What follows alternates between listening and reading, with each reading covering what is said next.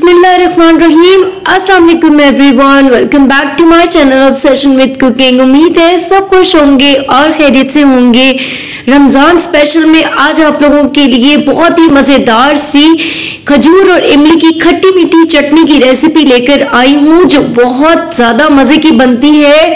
आप इसे एक ही दफ़ा बनाकर पूरा रमज़ान के लिए स्टोर कर सकते हैं और मज़े मज़े की चीज़ों के साथ इसे इंजॉय कर सकते हैं। ये बहुत ही ज़्यादा मज़े की लगती है। और इसके टेक्सचर की बात करें तो आप देख सकते हैं, बहुत ही मज़े का इसका टेक्सचर है। आज की वीडियो बहुत ही मज़ेदार होने वाली है। स्टार्ट मेकिंग इट अब यहाँ पर इमली और खजूर की चटनी बनाने के लिए जो चीज़ें हमें चाहिए उसके लिए मैंने यहाँ पर खजूर ली है। ये 200 ग्राम खजूर है। इसको रात भर आपने भिगो देना है पानी में और सुबह आपने इसे पानी को फेंक कर इस तरीके से सीड्स इसके निकाल देने हैं। और इसी के साथ साथ मैंने यहाँ पर लिया है 200 ग्राम ही इमली। आपने इसको भी रात को भिगो कर रख देना है पानी में और सुबह इस तरीके से आप देखेंगे कि इसका जो पल्प है वो अलग हो जाएगा और इसको अब हम छान लेते हैं। अब यहाँ पर एक बॉल के अंदर हम इस तरीके से थोड़ी थोड़ी इमली ऐड करते जाएँगे और इसको पानी जो है वो हम स्ट्रेन कर लेंगे। हमें इसका जस्ट पल्प चाहिए सीड्स नहीं चाहिए। आप देख सकते हैं इस तरीके से इमली का जो सारा ही पल्प है, वो हमने निकाल लिया है।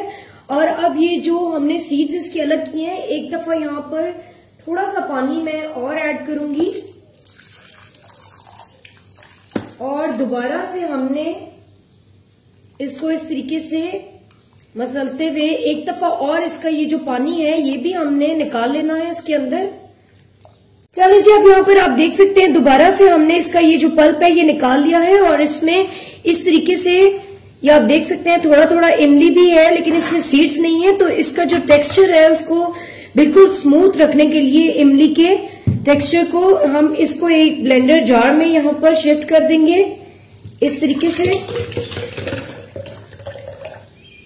चले जी, और साथ ही साथ ये जो खजूर को हमने डी सीड करके रखा हुआ है, ये भी हम सारी की सारी इसमें ऐड कर देंगे और इन दोनों को हम कर लेंगे अच्छे से ब्लेंड ताकि जितना भी जो टेक्सचर है इमली का, वो बिल्कुल स्मूथ हो जाए।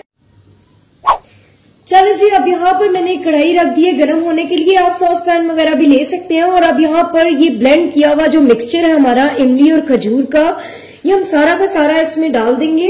अब आप देख सकते हैं कि ब्लेंड करने से क्या हुआ है कि इसका जो टेक्सचर है वो बहुत ही ज़्यादा स्मूथ हो गया है। जिस तरह से हमें इमली की चटनी के लिए चाहिए, थोड़ा सा आपने इसमें पानी ऐड करना है और पानी ऐड करके आपने इसे कर लेना है ब्लेंड इसी जग के अंदर थोड़ा सा पानी और ऐड करूँगी क्योंकि अभी ये जो टेक्सचर है इसका बहुत ज़्यादा थिक है, इसलिए हम थोड़ा सा पानी और ऐड करेंगे। इसके अंदर ताकि हम इसको पका सके। साथ ही साथ इसके अंदर मैं ऐड करूँगी, यहाँ पर मेरे पास 250 ग्राम के करीब गुड़ है। ये मैं इसमें ऐड कर दूँगी। आप चाहे तो गुड़ की जगह चीनी का भी इस्तेमाल कर सकते हैं, लेकिन गुड़ से इसका टेस्ट बहुत ज़्यादा अच्छा आएगा। पर अगर गुड़ नहीं है आपके पास तो आप इसकी जगह चीनी भी इस्तेमाल कर सकते हैं। अगर आप चीनी का इस्तेमाल करें तो 200 ग्राम आप चीनी इस्तेमाल करें। यहाँ पर कुछ स्पाइसेस जिसमें जाएगा वन टीस्पून इसमें जाएगा लाल मिर्च का पाउडर क्वार्टर टी स्पून इसमें जाएगा नमक और हाफ़ टी स्पून इसमें जाएगा जीरा पाउडर और अब एक दफ़ा हम चम्मच को चला देंगे। और यहाँ पर स्टेज के ऊपर मैं इसमें थोड़ा सा पानी और ऐड करूँगी। मुझे इसकी कंसिस्टेंसी अभी भी बहुत थिक लग रही है, क्योंकि अभी हमने इसको पकने देना है। तो यहाँ पर मैंने एक ग्लास के करीब पानी इसमें और ऐड कर दिया है। और अब हम इसको मीडियम फ्लेम के ऊपर कुक होने देंगे, जब तक कि गुड़ जो है हमारा अच्छे से मेल्ट नहीं हो जाता इसके अंदर। मैं इसमें थोड़ा सा काला नमक भी ऐड करूँगी जस्ट हाफ़ टी स्पून ज़्यादा नहीं अगर आपके पास काला नमक नहीं है तो आप इसे स्किप भी कर सकते हैं। आप जस्ट इसमें सादा नमक डाल दें। और बस अब इन चीज़ों के साथ हमने इसे पकने के लिए रख देना है। फ्लेम को आपने बहुत ज़्यादा तेज नहीं करना मीडियम टू लो फ्लेम के ऊपर ही से आपने कुक होने देना है। और बीच बीच में चम्मच को चलाते रहना है।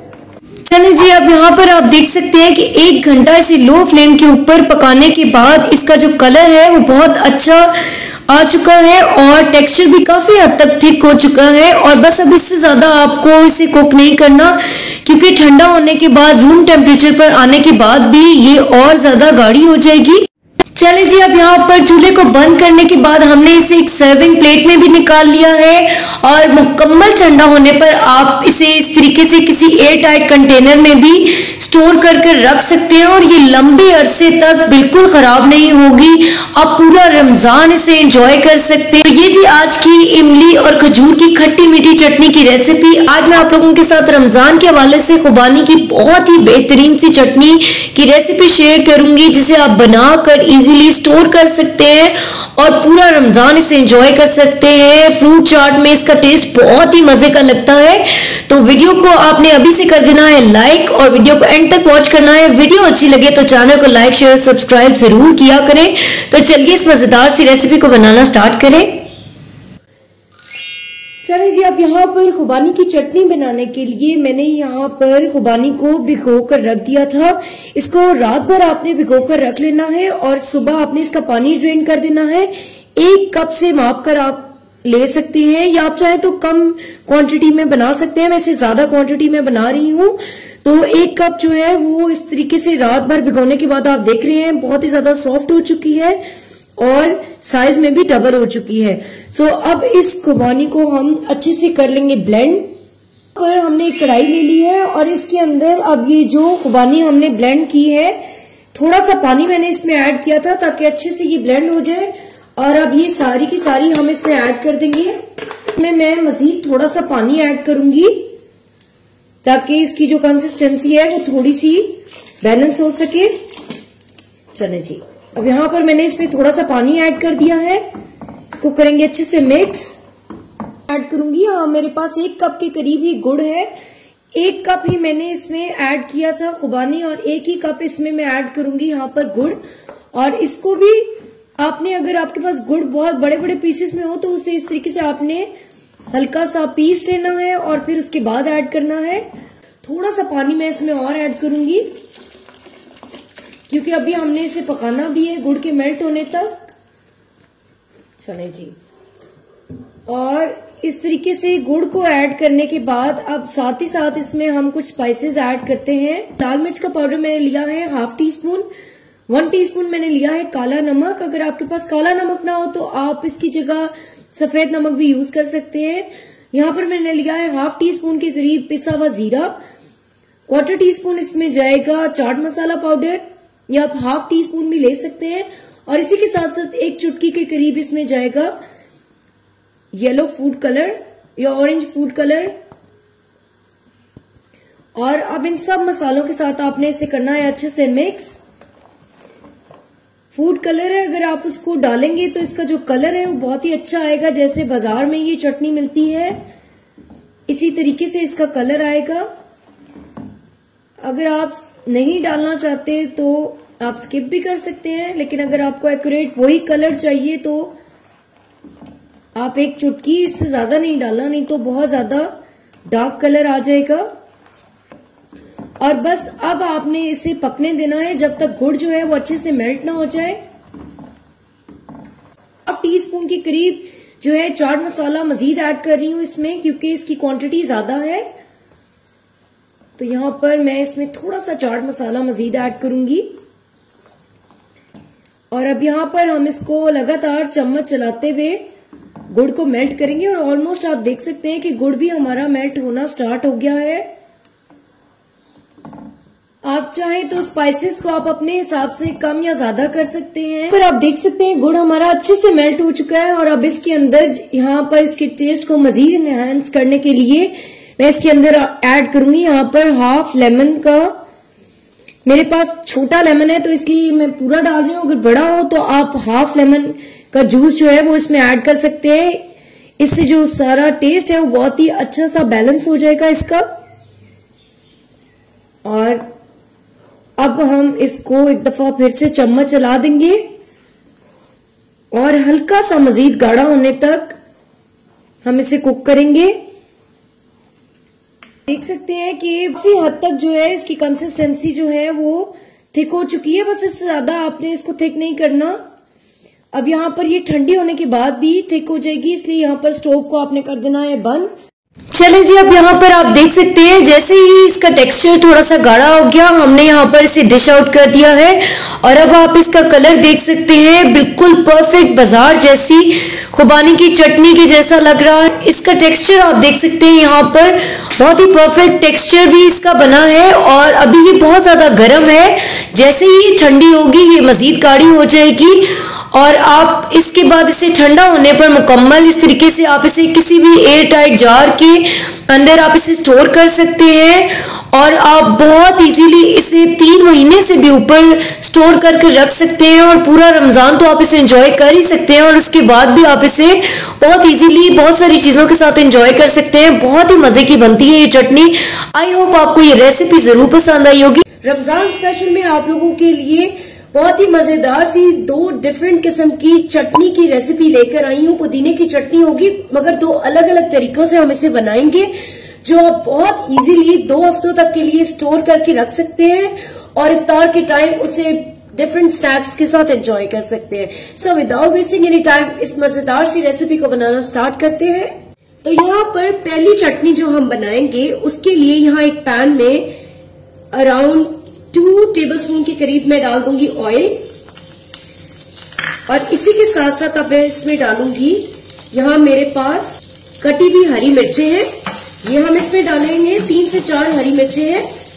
एक से दो मिनट तक इसे करना है सौते साथ ही साथ इसमें हम डालेंगे एक बड़े साइज़ का कटा हुआ टमाटर। टमाटर के डालते ही हम इसमें डालेंगे सॉल्ट ताकि टमाटर हमारा जल्दी से सॉफ्ट हो जाए। ये चटनी बहुत ही मज़े की बनती है और बहुत डिफरेंट लगती है। स्नैक्स के साथ खाने में बहुत ही ज़्यादा मज़े की है। आप इसको ज़रूर ट्राई कीजिएगा। एक से दो मिनट तक हमें इसको सौते करना है ताकि टमाटर हमारे हल्के सॉफ्ट हो जाए। इसी के साथ साथ अब मैं इसमें ऐड करूँगी। यहाँ मेरे पास बड़ा कप के करीब जो है धनिया है। ये हम इसमें ऐड कर देंगे।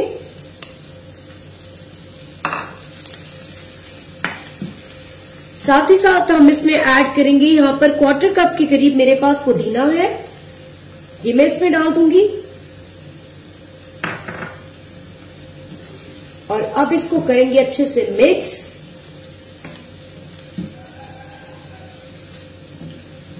यहाँ पर। एक छोटे साइज़ का प्याज इस तरीके से आप लोगों ने काट लेना है। दो से तीन टुकड़ों में, दो से तीन जवे लसन के इसमें जाएँगे। और इसमें जाएगा हाफ़ टी स्पून के करीब जीरा पाउडर और क्वार्टर टी स्पून इसमें जाएगा सूखा धनिया।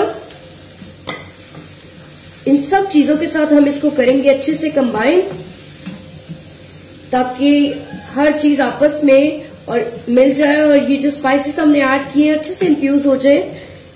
इसके अंदर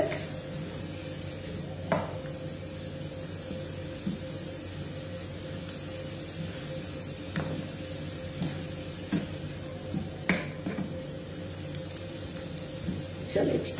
टमाटर हमारे ऑलमोस्ट सॉफ्ट हो चुके हैं और इस स्टेज के ऊपर अब हम स्टोव को कर देंगे बंद और इस मटेरियल को होने देंगे ठंडा। के ठंडा होते ही हमने इसे एक ब्लेंडर में इस तरीके से डाल दिया है।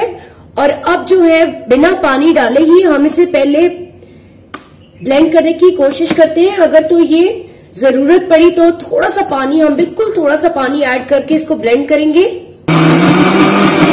जी, अब यहाँ पर इसे ब्लेंड करने के बाद इसका टेक्सचर हम एक दफ़ा चेक कर लेते हैं। तो यहाँ पर आप देख सकते हैं, ये बहुत ही मज़ेदार सी हमारी पुदीने की बहुत ही डिफरेंट स्टाइल में बनने वाली चटनी बिल्कुल रेडी है। इसको आप एज इट इज़ किसी भी स्नैक के साथ एंजॉय करें और आप इसे स्टोर करके रख सकते हैं किसी एयर टाइट कंटेनर के अंदर। भी आप इसे स्टोर करके अप टू वन वीक जो है आप इसे रख सकते हैं और किसी भी स्नैक के साथ इसे एंजॉय कर सकते हैं। तीसरी मज़ेदार सी अपनी चटनी को रेडी कर लेते हैं। तो यहाँ पर एक ब्लेंडर के अंदर मैं ऐड कर दूँगी। एक कप के करीब मेरे पास है धनिया। एक कप के करीब ही मेरे पास है पुदीना। इसी के साथ साथ मैं इसमें ऐड करूँगी यहाँ पर एक बड़ा टुकड़ा अदरक का। इस तरीके से आप दो हिस्सों में काट लें। तीन से चार चलिए जी, अब इन सभी चीज़ों के साथ थोड़ा सा हम इसमें डालेंगे पानी अराउंड वन टेबल स्पून और इसको कर लेंगे हम अच्छे से ब्लेंड